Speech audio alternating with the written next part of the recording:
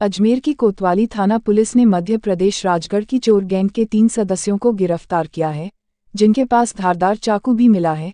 इसे लेकर आरोपियों पर आर्म्स एक्ट में मुकदमा दर्ज कर कार्रवाई की जा रही है। मामले की जानकारी देते हुए थाने के प्रभारी शमशेर खान ने बताया कि मुखबिर से सूचना मिली कि मध्य प्रदेश चोर गैंग के सदस्य थाना क्षेत्र में घूम रहे हैं, जिनके पास चाकू है और वह किसी वारदात की फिराक में है। इस बात की सूचना मिलने पर पुलिस ने टीम का गठन कर आरोपियों की तलाश शुरू की और उन्हें गिरफ़्तार किया गया। उन्होंने बताया कि आरोपियों के पास चाकू भी बरामद हुआ है, जिसे लेकर पुलिस जाँच में जुटी है। यह आरोपी मध्य प्रदेश राजगढ़ के रहने वाले बलदेव सिंह, विशाल और लक्ष्मण हैं। तीनों ही आरोपियों के खिलाफ पूर्व में भी आपराधिक मुकदमे दर्ज है, जिसे लेकर भी प्रताप पत्रावली तैयार की जा रही है। वहीं इन सभी को न्यायालय में पेश कर अग्रिम अनुसंधान किया जाएगा।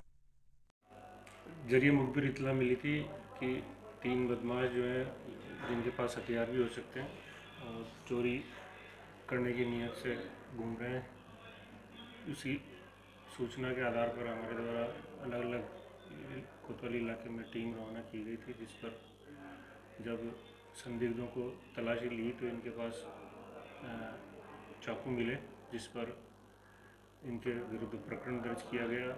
ये जो तीनों ही हैं पूर्व में चोरी की वारदातों में लिप्त रहे हैं और क्राइम रिकॉर्ड के हिसाब से इनका पुराना रिकॉर्ड जो है वो चोरी की वारदातों में लिप्त रहने का पाया गया है। ये लोग मध्य प्रदेश राजगढ़ के हैं और मुख्य काम इनका चोरी करना ही है और इनमें जो तीन अभियुक्त हैं वो बलदेव सिंह विशाल और लक्ष्मण। तीनों ही राजगढ़ कड़िया क्षेत्र के रहने वाले हैं। पूर्व में इनका क्राइम रिकॉर्ड है, जो पत्रावली में संलग्न किया गया है।